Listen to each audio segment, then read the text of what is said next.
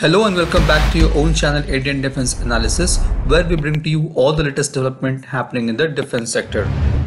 TASS, which is a Russian news agency, has reported that Rosoboronexport, part of Rostec State Corporation, is holding consultations with New Delhi on upgrading India's T-90 Bhishma MBTs. Indian Army currently operates 2078 T-90 Bhishma and the order of another 464 is there in the pipeline. They form the backbone of Indian Armored Unit. However, there are some serious issues and important upgrades required in order to make it on par with Chinese and Pakistan's main battle tanks, regarding which we will be discussing in today's video.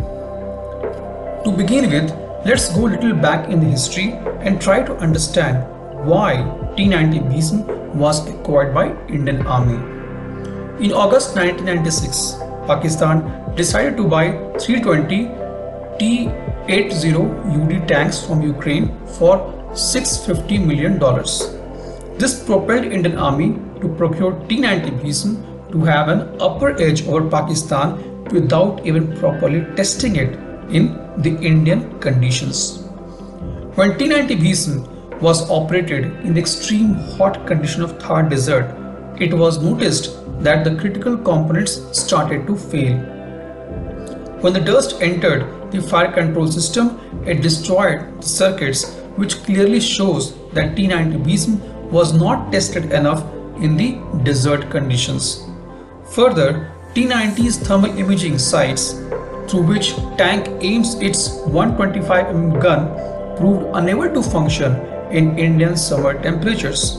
The Bhishma originally came with no night capabilities. Indian Army had to install thermal imaging equipment from France. However, the French electronics also started failing and the stalwarts of Indian Army started installing air-conditioned units on Bhishma. Even with those, electronics kept on failing. In contrary, the American Abrams and the British Challenger tank fought in Iraq desert without air conditioning. India's Arjun tank too has hardened electronics that function perfectly even in Rajasthan summer. Last month, Pakistan has formally inducted Chinese VT-4 battle tanks for the offensive role. We have made a detailed comparison between VT-4 and T-90 Bhishma and the link for the same can be found under the description section. The main feature of VT-4 tank which makes it far superior than Indian T-90 Bhishma is the active protection system. It has GL5 active protection system which integrates four fire control radars with a detection range of approximately 100 meter. This helps tank to destroy any incoming tank and anti-tank ammunition from a distance of 100 meters. It is mounted on its roof and offers a high level of protection against main battle tanks, armored vehicles, anti-tank guided missiles and anti-tank weapons. Overall, it greatly improves the survivability of tanks in a hostile condition. T-90 Bhishma lacks APS. Therefore, the one upgrade that Indian Army must be doing is to install APS system on T-90 Bhishma. Apart from that, there are several inherent problems with T-90 Bhishma. It does not have Storak electronic countermeasure system which is there in Russian T90 version. There are also problems reported related to fuel tank, auxiliary power unit and the air conditioning. The proof of the inherent problems with T90 Bhishma was wide open in broad daylight during Biathlon conducted in Russia in 2017. India has sent two tanks in the competition.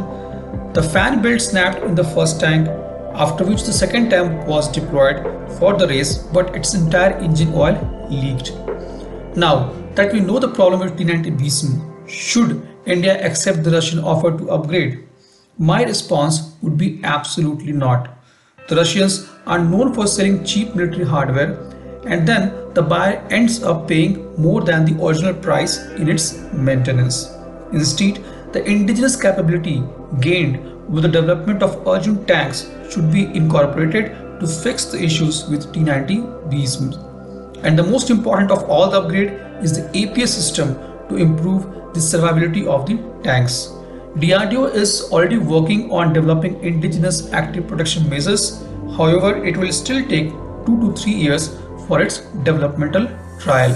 It is time for the Ministry of Defense to prioritize its development as APS is going to be the most critical feature of any futuristic main battle tank and this is something we definitely don't want to buy from foreign players as we need to mature it and keep updating as per the changing warfare scenarios.